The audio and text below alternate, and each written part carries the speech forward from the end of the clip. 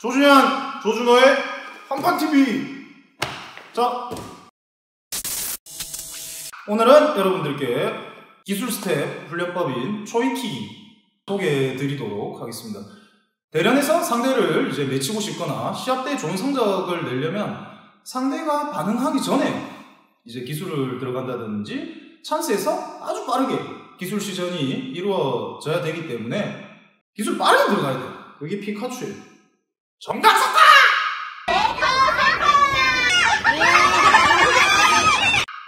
그렇죠. 피카츄처럼 입고 나오셨네요. 이 초이킥만큼 좋은 게 없습니다. 초이킥 보여드릴게요. 자, 전 국가대표의 초이킥. 전 국가대표는 1분의 초이킥이. 이 킥을 몇 개 할 수 있을까?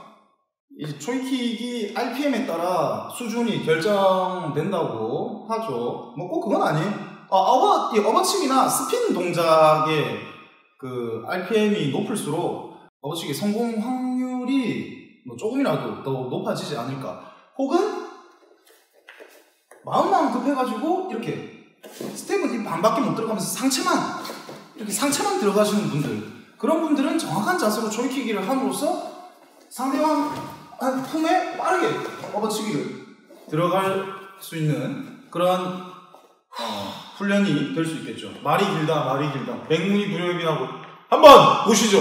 자, 조이킥 같은 경우에는 보통 선수들 같은 경우에 10초 단위로 10초, 20초, 30초, 40초, 50초, 1분까지 이루어지게 되는데 어, 30초까지는 빠르게 들어가는 훈련이에요. 그리고 30초 이후부터는 더 빠르게 들어가는 훈련이에요.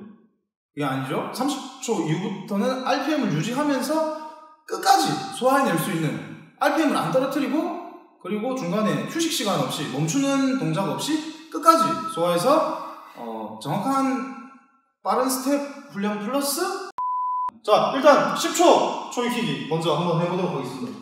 제가 소시적에는 한 11개에서 12개 정도 한 것 같은데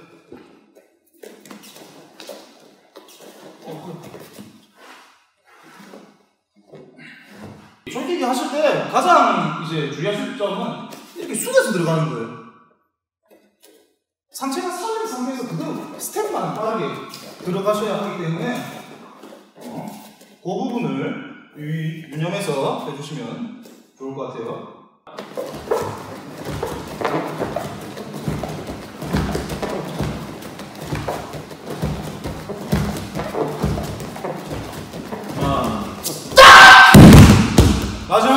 어, 이렇게 내치기로 마무리해 줄 필요가 있죠. 와 진짜 근데 10초에 고작 12개밖에 못했는데 지금 제가 하면 한 14개까지 가능할 것 같은데 여러분이 이게 이렇게 개수가 생각한 만큼 안 나올 때는 생각하세요. 누구보다 빠르게 당기랑다 이게 누구보다 빠르게 당기고 이렇게 하면 더 빨려져요. 알겠죠? 여러분? 자 이제 1분 가겠습니다. 1분 못하겠다. 그럴 줄 알았어. 1분에 도전하려고 했으나 1분이 안 되는 관계로 아니 아니 하겠습니다. 선생님 1분 한번 해보실래요? 아니? 시작하겠습니다. 자 1분 도전 하겠습니다. 1분은 1분 초이기의 핵심은 안 쉬는 거예요. 근데 그 1분을 할걸 생각해가지고 RPM을 처음부터 떨어뜨려가지고 이 하는 것은 정말 미련한 짓이고 안 하니만 못한 훈련이기 때문에 초반부터 시작!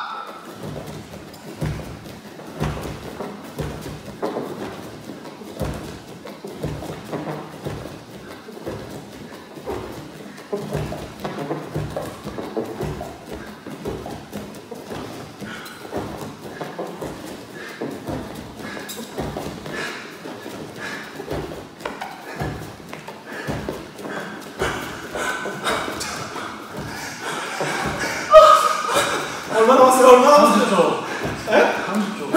30초 남았다고요? 어! 멈추면 안 됩니다, 여러분. 멈추면 안 됩니다, 여러분. 스텝은 정확하게 들어가려고. 최선을 다하면서. 여러분이 힘들 때는 가장이 이렇게 와. 아, 사람이 왜 살고 있는데? 이때 생각해야 된다. 생각해야 된다. 이거 받아준 사람이 그냥 받아주면 안 돼. 할 수 있다! 할 수 있다! 준현이 할수 있다! 아, 잘, 잘 받아! 그만. 제가 에이 이 하나님만 못한 컨텐츠 지나가고 있네요. 1분에 56개 보여줄 거면 안 해야죠. 초당 하나 해야, 해야죠. 그러니까 초당 CS는 먹어야죠. 여러분 잘하고 싶으시면 에이크 선수가 되려면 1분에 1분 했을 때 초당 초당 하나 이상을 이 할 수 있는 속도와 버틸 수 있는 체력이 있으셔야 됩니다. 제가 지금 생각했을 때 국가대표면 어, 60개에서 90개까지는 하겠네요. 하나 더 중요한 게이 업어치기가 양 특히 양팔 업어치기가 가장 이제 저항도 많이 가고 저 부하도 많이 가기 때문에 체력 운동도 되고 스텝 훈련도 되고 기술 훈련도 되고 삼박자를 모두 갖출 수 있으나 이 밧다리 밧다리 춤추는 이게 뭐 캉캉 댄스지 이게 트레이닝이라고 저희 하면 밧다리 하는 밧다리 공장장들이 있는데 어 비춥니다 그리고 그리고 또 고개도 왜 이렇게 보고 하는 거죠? 왜 하는 거죠? 왜 하는 거죠? 초이킥 이거 왜 하는 거죠? 왜 하는 거죠? 의미 없는 초이킥 하지 마시고 초이킥은 꼭 업어치기 그리고 업어치기에서도 양팔 업어치기로 하시기 바라겠습니다. 지금까지 전 유도 국가대표의 초이킥 그는 과연 분당 몇개 익히기를 할 수 있을까? 였습니다. 지금까지 아니요. 네, 다음 시간에 고 다음 이 시간에는 올림피아는 그 중에서 올림픽 메달리스트는 과연 초이킥기를 몇 개 할까 편이 방송됩니다.